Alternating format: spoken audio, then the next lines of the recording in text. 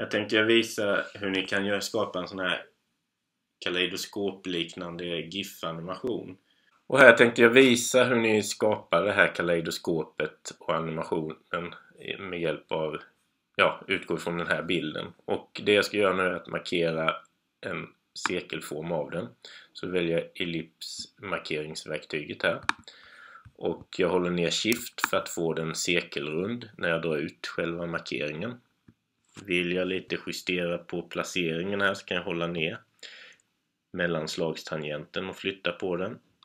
Och sen kan jag återgå till att ändra och justera själva storleken. Sen släpper jag det. Och vill jag lite justera här så kan jag flytta på den med hjälp av piltangenterna. Nu gör jag bara så att jag kopierar den här. Och sen så skapar jag ett nytt dokument. Och det dokumentet motsvaras storleken på eller upplösningen på den bild jag har kopierat. Så då kan jag välja det. Så klistrar jag in den där. Nu vill jag ha en liten effekt på den här så jag går in på filter, jag går in på stylize och solarize. Så får jag en effekt. Och det kan man ju lägga till olika effekter som man vill ha till sitt kaleidoskop. Eller så kör man bara som bilden är. Och eh, nu ska jag göra fyra kopior av de här. Och tanken är sen att jag ska spegelvända dem på olika sätt här så att eh, bilden kan snurra och få den här spegelvända effekten. Och eh, då kommer också en fjärdedel av varje bild att visas för att eh, det ska kunna gå att göra det. Och det jag behöver göra här nu det är att jag kan skriva här benämna de olika lagren vad det ska vara. Så vänster ner då ska den här delen, den vänstra nedre, nedre delen visas. Så kan jag duplicera den. Och då kan jag säga vänster upp där.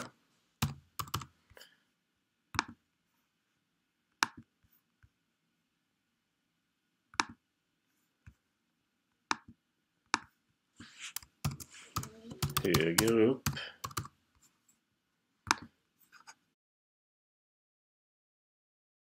Så, nu har jag ett lager för varje fjärdedel av bilden här som ska visas. Och det jag ska göra nu då är att spegelvända dem. Och om vi går systematiskt tillväga här så säger vi att det som jag visar nu är vänster ner, det ska visas så. Sen nästa ska vara vänster upp. Då markerar vi det lagret så att det är markerat och sen så går vi in på Edit Transform och så Flip Vertical för den ska spegelvändas uppåt. Så då har vi så att säga de två bilderna där. Sen går vi vidare till höger upp. Så nu den här delen ska hamna här. Så då behöver vi spegelvända den två gånger. Dels horisontellt och vertikalt.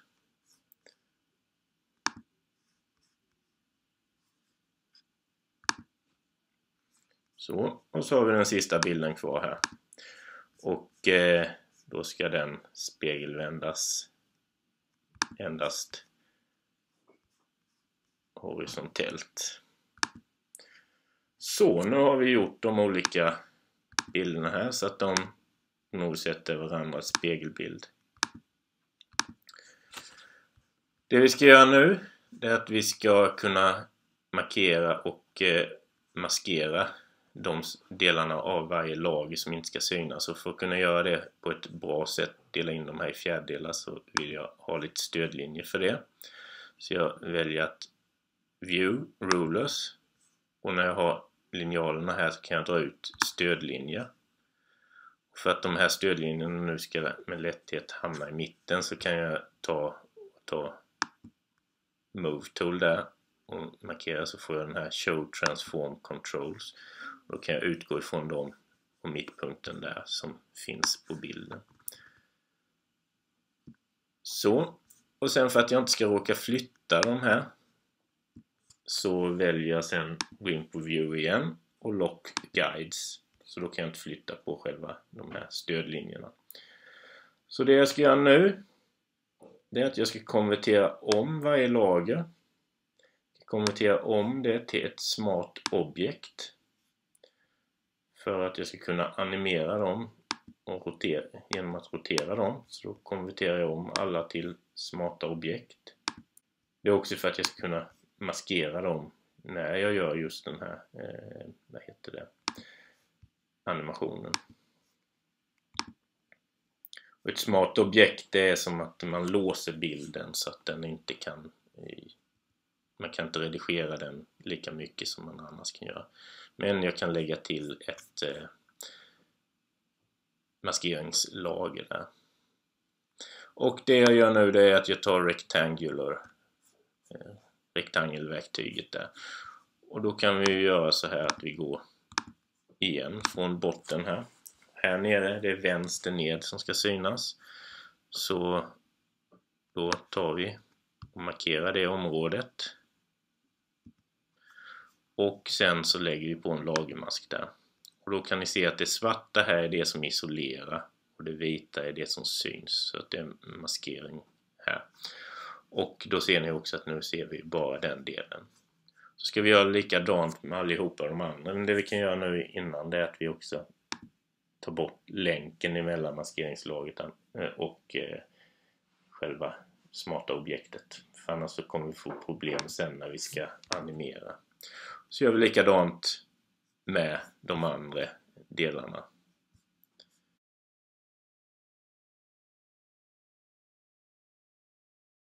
Så, nu har vi fyra lager. och nu kan vi se här att den har fått den här spegeleffekten. Och det vi ska göra nu det är att vi ska animera de här lagren. och då går vi in på det som är lilla fliken här nere, Timeline. Och så expanderar den. Och sen väljer vi Create Video Timeline. Och här har vi som en tidslinje.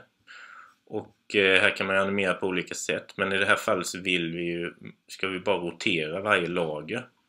Och eh, de ska visas hela tiden. Så att eh, vi kan börja här med vänster ner. Och sen expanderar vi här.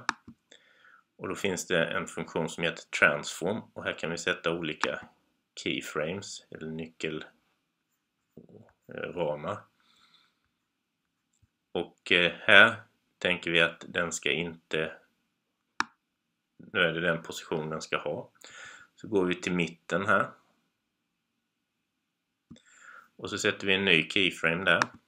Och när den har här emellan så ska den rotera 180 grader. Då går vi in på Edit, Transform, Rotate 180 grader. Och sen så kör vi till slutet här av tidslinjen och så sätter vi en ny keyframe.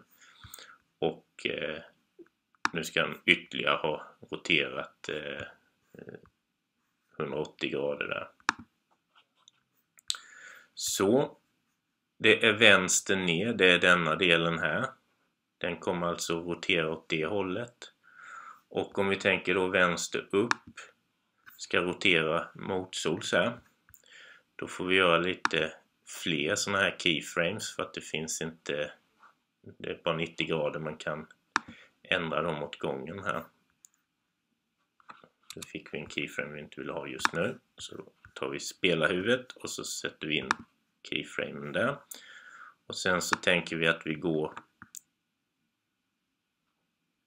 en fjärdedel av tidslinjen och så sätter vi in en keyframe där och så går vi in på Edit, Transform, Rotate och nu är det counterclockwise, alltså motsol, står 90 grader. Så gör vi det, vi har kommit halvvägs också.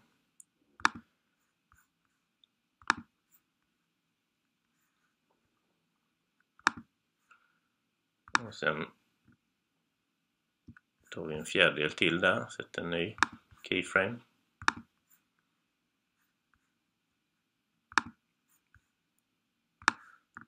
Och så till slutet.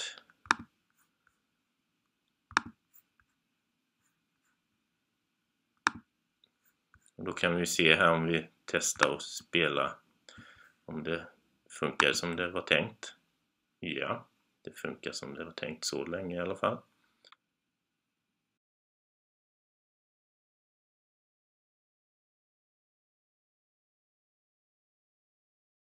Nu går ju den här när vi kör den en gång så går det mycket långsammare än det kommer att gå sen. Detta är en tidslinje nu på 5 sekunder. Skulle man vilja ha en längre så kan man dra här bara innan. Då är det lättare att göra det innan, annars får vi flytta alla de här keyframesen sen. Men om vi säger att vi är nöjda med att den ska vara 5 sekunder så kan vi behålla det där så länge. Nu kanske jag tänker också att jag skulle faktiskt vilja ha en annan bakgrund här så att eh, jag eh, lägger en svart bakgrund här så jag markerar och sen ser jag till att jag på bakgrundslagret och sen så lägger jag till en svart färg där. Så. Men det jag ska göra nu innan jag, vad heter det, exporterar den eller snarare spara den för webben det är att jag ska förminska själva bilden här. Upplösningen på den. Och då går jag in på image, image size och eh, ändrar här. Säg vi vill ha 400. Och eh, vitsen att jag gör det, det är att eh, det går mycket snabbare sen att spara den som en GIF animation när vi ska rendera den. Och då väljer jag här, gå in File och så väljer jag Save for Web. Och då får jag upp en dialogruta här. Och här kan vi se då att här kan vi ställa in olika filformat vi ska ha. Det är GIF, JPEG och PNG som är de vanliga. Och i det här fallet är det ju GIF då vi ska använda för det är den man kan animera. Här kan man ju komprimera antal färger och sånt man vill ha. I det här fallet så vill jag ha färgerna för att det inte ska bli för plakatbild. Och sen kan man ställa in storleken på bilden. Nu har vi redan ändrat den till 400 men om man skulle vilja göra den mindre där till exempel så kan man ställa in det. Och sen vill vi att den ska fortsätta att loopa i evighet. Och sen väljer vi Save när vi har ställt in de grejerna vi vill ha.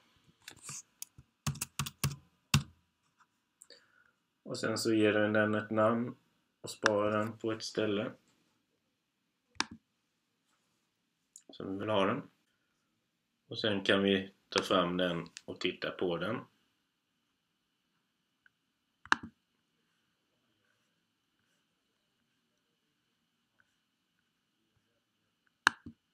Då kan vi välja att öppna den med Google Chrome där. Och här har vi resultatet.